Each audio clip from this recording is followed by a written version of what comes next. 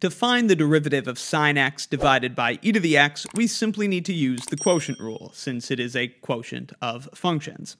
The quotient rule tells us that the derivative of a function f of x divided by g of x is equal to f prime times g minus g prime times f, all divided by g squared, the square of that denominator function.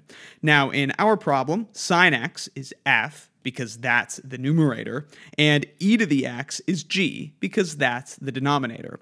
Let's apply the formula and see what we get for the derivative. Beginning with f prime, that's the derivative of the numerator. The numerator is sine x, and its derivative is cosine x. Then we multiply that by g of x, which is the denominator, so multiply by e to the x.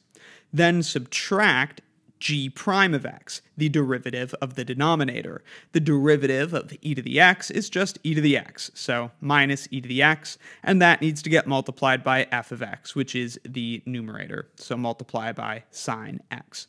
Then divide by g of x squared. That's the denominator squared, which is e to the x squared.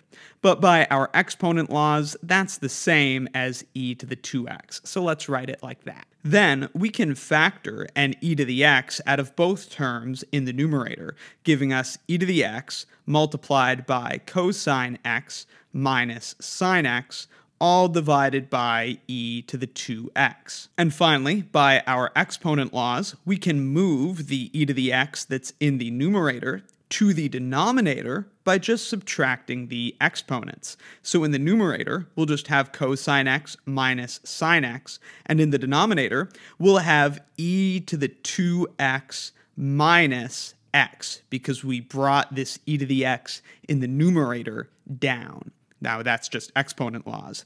e to the 2x minus x, though, of course, is just e to the 1x, and so we're left with this simplified expression. The derivative of sine x over e to the x is cosine x minus sine x divided by e to the x. And if you prefer to write that not as a fraction, you could bring the e to the x up as e to the negative x, and then just multiply that by cosine x minus sine x. But either way, that's how you take the derivative of sine x over e to the x using the quotient rule. Let me know in the comments if you have any questions, and be sure to check out my Calculus 1 exercises playlist in the description for more